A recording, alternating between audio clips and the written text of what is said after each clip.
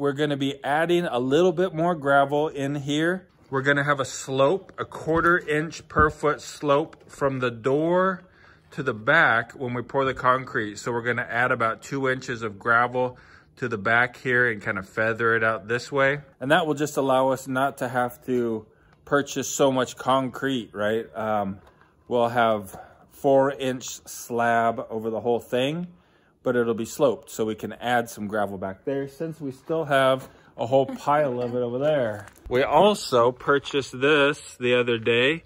That was like 200 pounds. yeah, but you remember how much it was?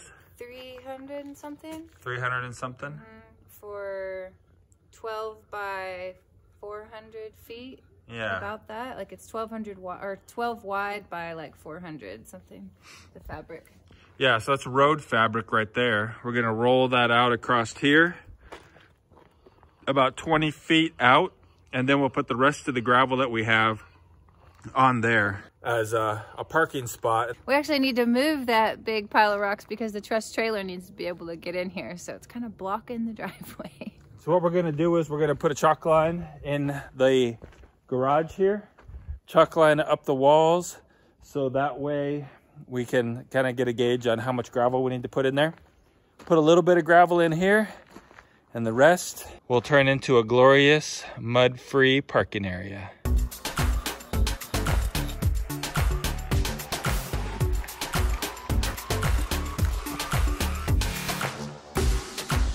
to be wild, born to be free. I'll always be here as long as you're standing right next to me. Adventure will take us into the unknown. Look straight ahead, cause forward's the only way to go. Oh, I believe, I believe.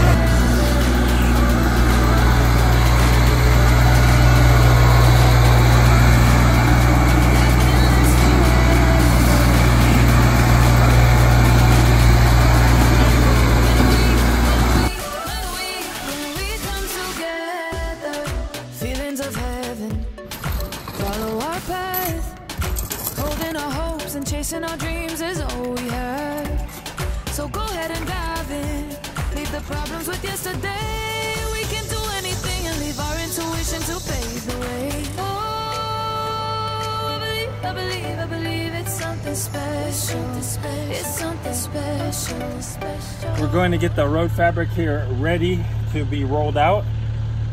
I want to see here if it's fairly porous or what. I've never actually seen what it looks like before, but it looks like it's a woven fabric here. Wow, it's fairly sturdy stuff it looks like. I don't know, we'll see when we get it unwrapped. So this right here is the road fabric and it's, uh, wow. it's fairly thick, yeah. fairly durable but it looks like water will flow through it. All right, let's just see here. Dexter, stay over here. Good boy. It's pretty tight weave, but you can breathe through it barely. Huh. So I don't think we have to worry about water pooling up on top of it. It'll it'll go through it. You can see through it. I mean, not like not like really see through it, but you can see light. Here, let me see. Yeah, you can see light, yeah. See that? Kind of more of a reflection for you guys, but you can see light through it. We're gonna go ahead and roll this across the garage and then cut it off. And then we'll put another row up above that across and uh, get about 20 feet worth. Then we'll go ahead and start laying some gravel on it and see how much gravel we have left after we get most of that covered.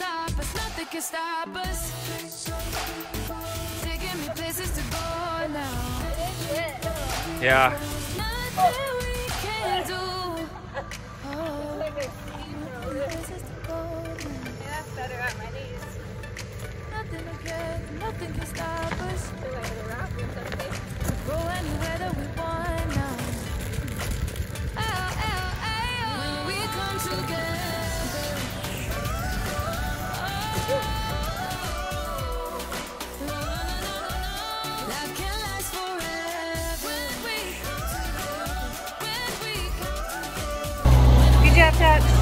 You're holding it down. Wind is blowing. good boy. He's a good boy. Yeah, you are.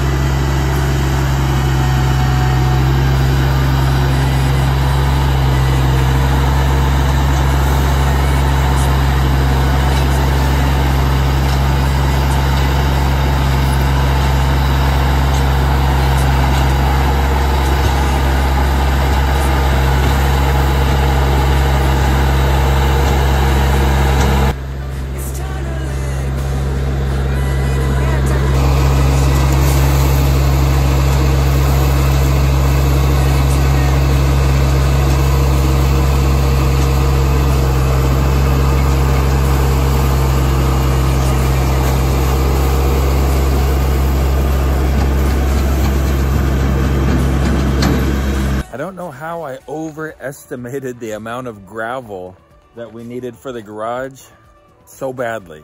But I'm kind of thankful that I did because, check it out. We've got a driveway now because of it. Maybe it's not the best rock for a driveway. Like if we were gonna order rock specifically for the driveway, we might not order this rock, but I think it's gonna work great. We can add more to it later. But check it out.